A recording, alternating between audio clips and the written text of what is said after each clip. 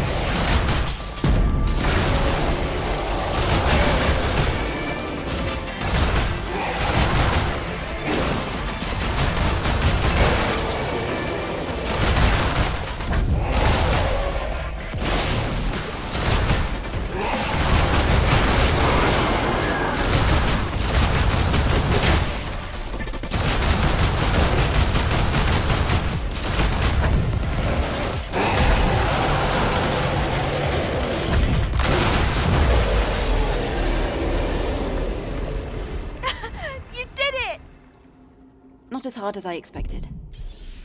Nice. Let's take a look at the Hypercell.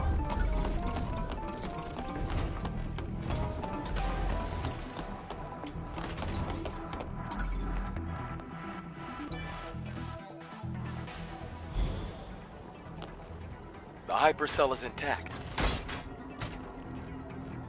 I also found a legacy.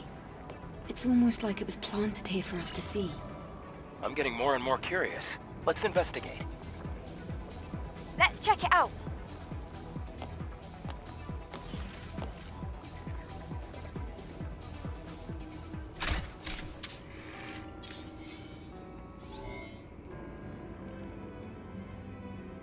Day 78 after the second dive.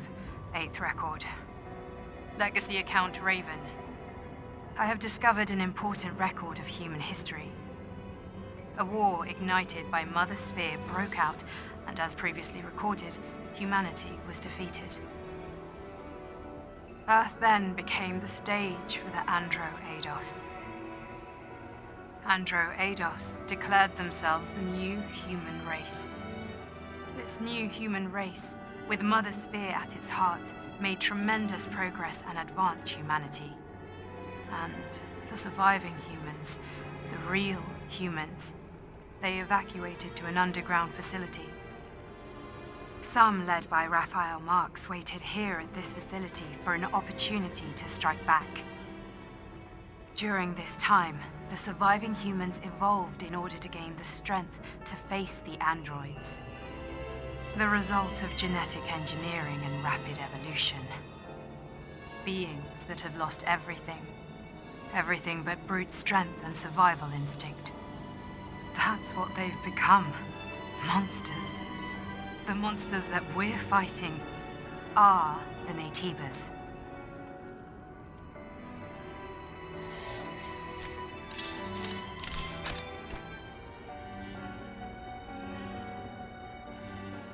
Naytibas. They were humans. Then... Those we've killed so far... They were all... humans. I. I can't believe this. But...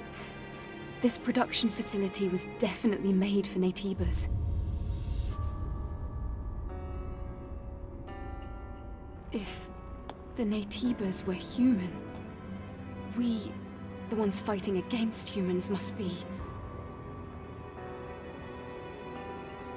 Andro Eidos. Are we Andro Eidos? The creatures brought into existence. Created by Mother Sphere. No! We're humans! Humans with complete bodies, perfectly in harmony with machinery and living tissue. Naytibas, on the other hand, are incomplete because they are made only of living tissue. They can't adapt environments, and they can't even survive in space. But what if we were created to solve such imperfections? What? Then, why did Mother Sphere hide this truth from us?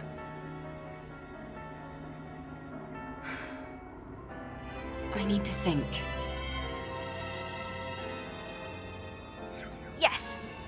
I don't think we can reach a conclusion about this on our own. I really do think we should talk to Orcal about all this. Yes, let's do that.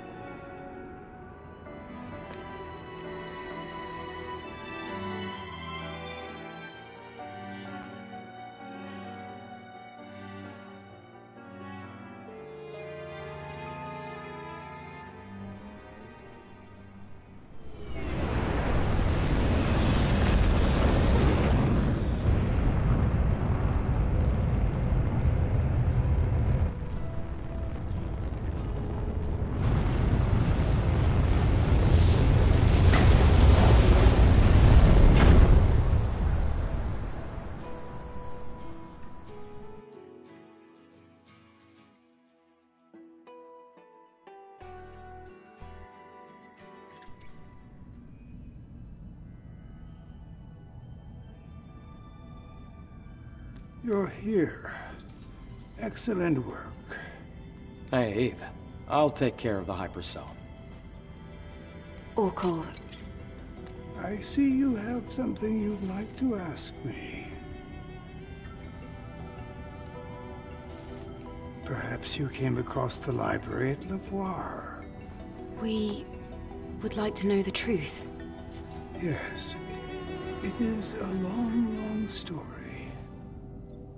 We are certainly human, but this was not the case not too long ago. It is true that those who came before were responsible for the creation of Mother Sphere. The ones now referred to as the last surviving humans.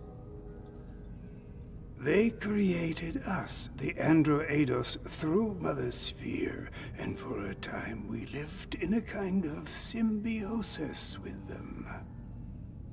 Then... We're androids. We were created. Then why. Why did Mother Sphere. The reason is unknown. However, at some point, Mother Sphere made a decision.